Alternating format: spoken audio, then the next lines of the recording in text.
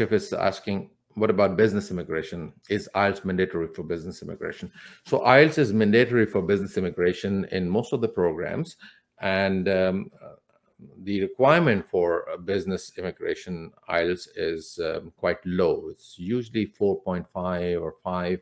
Uh, so uh, the, the purpose is that they understand that it's an English speaking or French speaking country and um, uh, French is spoken mainly in Quebec and um, it is a um, official one of the official languages in uh, New Brunswick as well.